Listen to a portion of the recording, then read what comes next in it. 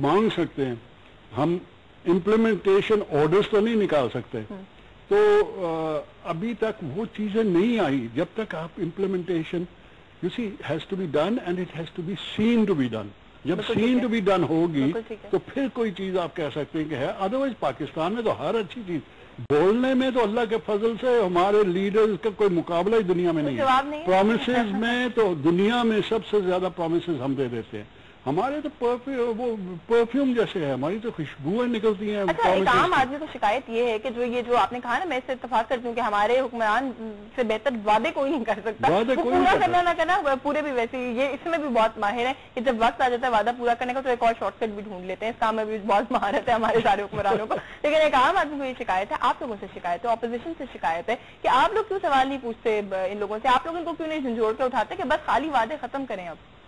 देखिए we have to work within the process हम असल में छोटी पार्टीज़ जो हैं, हमारे पास अभी तक वो मैंडेट हमें तो हमारी आवाम मैंडेट दे देती है।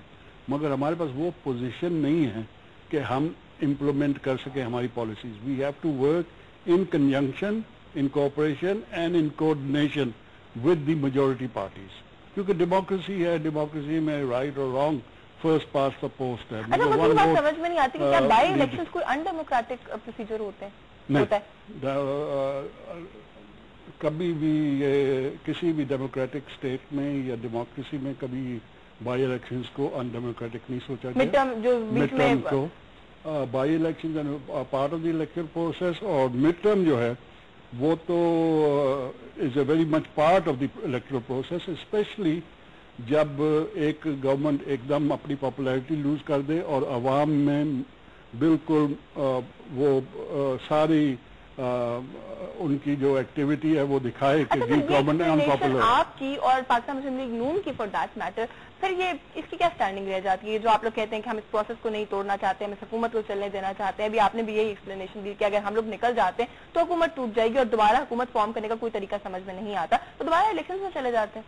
नहीं इलेक्शन की तरफ़ तो जाएँगे मगर अगर फिर दोबारा यही हो गया दी एक एक गरीब मुल्क है फिर हमारी इलेक्शन बड़ी वॉलेटाइल होती हैं बड़ी वो आप देखें बाई इलेक्शन में भी लोग एक आप तो हुकूमत की वजारत कानून की तरह बात करें कि सिर्फ़ मुकदमा के लिए खत नहीं लिखना है क्योंकि ये जवाब आ जाएगा लिख दे तो जवाब आगे पता चल जाएगा। नहीं वो तो है मगर हमारी तो पास्ट एक्सपीरियंस ये है और ये एक गवर्नमेंट का हक होता है बनाने का जिसके पास ज़्यादा वोट्स हों।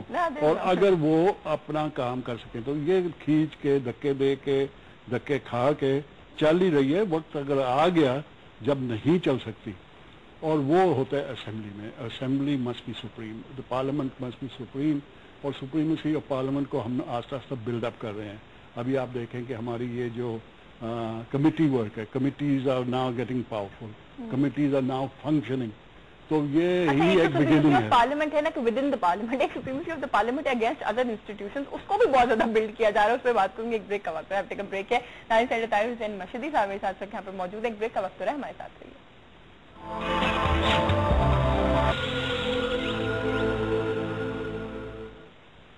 वेलकम बैक नाजिन सैद ताहिर हुसैन मशीदी साहब मेरे साथ इस वक्त यहाँ पर मौजूद है। ब्रेक बजाने से पहले हम इदारों को सुप्रीमसी के हवाले से बात करें तो थोड़ा सा इस पर कॉमेंट लेकर फिर बात को आगे बढ़ाएँगे कि आपने कहा कि पार्लियामेंट जो है उसकी सुप्रीमसी की तरफ़ काम हो रहा है। वो कुछ लोग कहते हैं कि वो ओवरडू कर रहे हैं पार्लियामेंट की सुप्रीमसी के लफ्ज को और उसको पता नहीं क्या बनाने की कोशिश कर रहे हैं, उसको इतना ज़्यादा मैग्नीफाई करने की कोशिश कर रहे हैं कि इदारों की जो वो हदूद हैं, जो लाइन्स हैं, हम उनको भी क्रॉस करते चले जा रहे हैं, हमें पता नहीं चल रहा।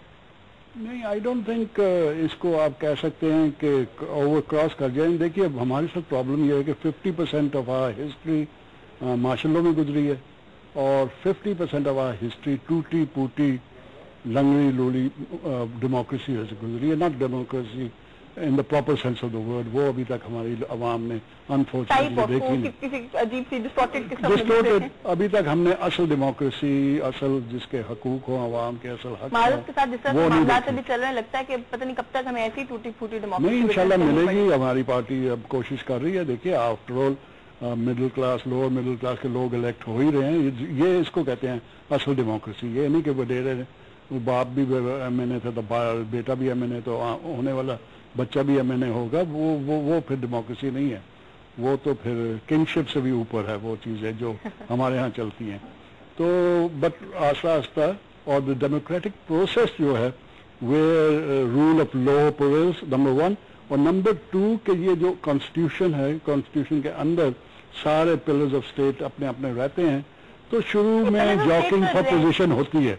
That is natural that is natural कोई चीज़ अब न्यू शुरू कर दें। कोई चीज़ आप न्यू शुरू कर दें आ, तो वो जॉकिंग फॉर पोजीशन तो शुरू यस वो जो है कि अब अब आप देखें सर्टन पावर्स होते हैं जो कि इलेक्टेड नहीं है। Non elected so non state और यू नॉन प्लेयर्स वो ज़्यादा शोर मचाते हैं ऐसी चीज़ों में। और वो कोशिश करते हैं इंस्टीट्यूशन स्टेट इंस्टीट्यूशन को लड़ाने की। फॉर बेनिफिट टू दमसेल्व्स या for the sake of it क्योंकि बेनिफिट टू दमसेल्व तो वो हो कि अगर वो खुद इलेक्टेड हों, उनको रिप्रेजेंट करें, किसी मैंडेट हो उनके पास, या उनके पास कोई पॉलिटिकल प्रोग्राम हो जिसको आगे लेके वो बनना चाहते हैं। तो ये चीज़ें हर दुनिया के हर मुल्क में हुई है, हर जगह पे हुई है। ये मैग्नी कार्टर से लेके आ 1936 जब औरतों को वोट मिला इंग्लैंड में, या अभी लास्ट सेंचुरी मिला। तो वहाँ पे भी चलता रहा ये जॉकिंग पोजीशन जुडिशरी कभी ज़्यादा और कभी एग्जीक्यूटिव ज़्यादा और कभी बात आ जाती है जो मैंने कही कि ये तो बियॉन्ड चला गया ना उस चीज़ से क्योंकि अभी आप देखिए नहीं, आजकल पाकिस्तान में कुछ ज़्यादा इतनी खुली डिफाइंस ऑफ़ सुप्रीम कोर्ट आपने कभी देखी है जो आज के अखबार में बयान छपे हुए और जो जवाब हुकूमत ने दायर किया सुप्रीम कोर्ट में? नहीं अब देखें एक तो आप- जो है वो जायज़ था। आप यानी सुप्रीम कोर्ट ने जो कुछ कहा वो गलत है जो कुछ हम कह रहे हैं वो सब ठीक है। वो देखिए ये सिंपलिस्टिक व्यू होती है। ये जैसे आप कहते हैं ना कि जी सुप्रीम कोर्ट ने ये कह दिया या पार्लियामेंट ने ये कह दिया।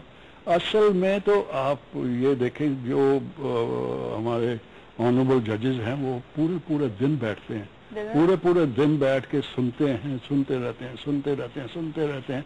तो एंड ऑफ़ द डे एक सेंटेंस निकलता है जो कि हेडलाइन बन जाता है। अब हमें क्या पता कि वो क्या क्या सुना क्या क्या बर्दाश्त किया क्या क्या उन्होंने डिसीजंस दी क्या क्या सोचा क्या किस तरह के तो ये थोड़ा सा वो आजकल की मीडिया आजकल की प्रेस वो ग्लैमर ग्लैमर है मतलब आपने और- बोलना शुरू कर दी फिर एक नहीं नहीं मिनट नहीं मैं। हाँ, आपको मैं इसकी बड़ी वो तो सस्पेंड लेता हूँ क्योंकि मैं तो very clear cut on this के जी everybody must remain within their own sphere everybody ये तो आप एस एच ओ से शुरू करें।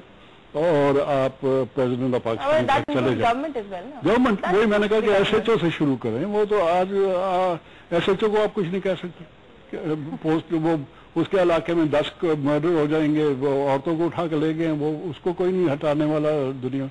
अदरवाइज़ तो असल डेमोक्रेसी में अगर उसमें थोड़ी सी भी गाय तो उसी वक्त वो रिजाइन करे। हमारे ट्रेन एक्सीडेंट्स हम हैरान हुए थे कि hundred and seventy one train accidents हुए थे। लास्ट टू इयर्स में ये हमारे आंसर टू द क्वेश्चन और हमारे मिनिस्टर साहब किसी ने रिजाइन नहीं किया तो इंग्लैंड वो में इंडिया में एक एक एक्सीडेंट होता है।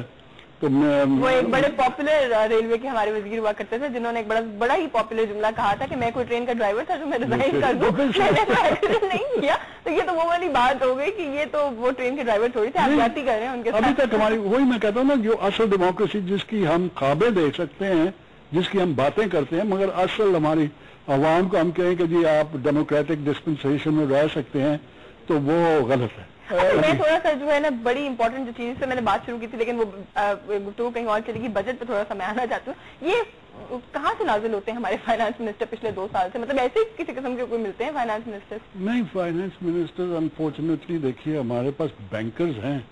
दुनिया के बेहतरीन बैंकर्स में से हमारे लोग आते हैं हबीब बैंक वो हमारे वो इंटरनेशनल बैंकिंग में आब्दुल नाम साहब भी थे डिफरेंट नेम इंडिविजुअल्स देख लें या बैंक्स देख लें बहुत इन्होंने नाम कमाया है तो इकोनॉमिस्ट हमारे पास कम है जो इसको कहते हैं ना economist there's a vast difference between a proper economist And a banker. and a banker.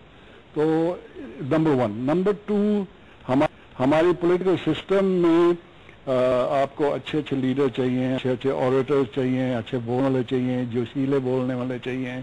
उसके बाद आपको वर्कर अच्छे चाहिए जो कि आवाम को दिन रात ख्याल करें। अच्छा, मगर उसमें हमारी तो पार्टियों में एम्फोसिस नहीं होता नहीं बजट में ये महसूस हुआ economist कि हमें सब कुछ बोलने वाले भी चाहिए क्योंकि हफीज साहब ने तो मतलब ही kept all the details to himself उन्होंने तो शायद कुछ भी अनाउंस नहीं किया एक्सटेम्परेट स्पीच हो रही थी जो मेरे ख्याल है पहली दफ़ा हुई है बजट तकरीर बजट तकरीर has to be documented and it has to be based on facts and figures कि इतने में इतना परसेंट इस चीज़ में हमने इतना परसेंट एलोकेट किया वो जहाँ पे फिगर देने की बारी आती थी वहाँ पे वो कहते थे आपके पास तस्वीर मौजूद है आप खुद देख लें क्योंकि उनको पता है कि वो इतनी सारी किताबें जो है वो पढ़ते पढ़ते भी दस दिन लग जाएँगे politically Sharp move. uh, sharp Uh, move very कि आपने वो चीज़ें गायब रखी